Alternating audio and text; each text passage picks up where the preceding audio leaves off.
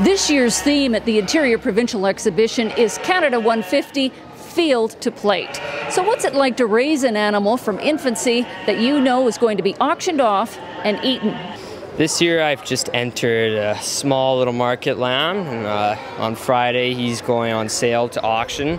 Highest bidder gets him, and yeah, that's all I've put in this year. What's his name? Budweiser. I always name my lambs after liquor.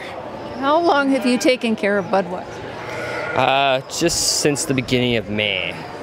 So you don't really have to take care of them too long. Usually they're ready by the end of April, beginning of May. And then after that, the, you just plump them up slowly and just hope they make weight. You have entered this lamb. You've done it for five years. Is it does it get easier because you know that these animals are going to be slaughtered?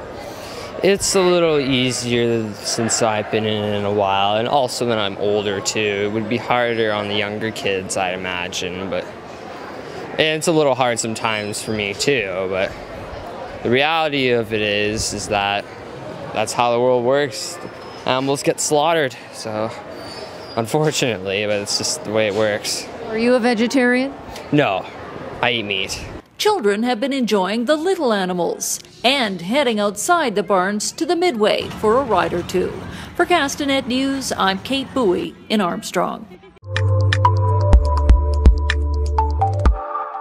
Communicate with other Castanet readers in our forum section, which can be found in the opinions button in our yellow masthead.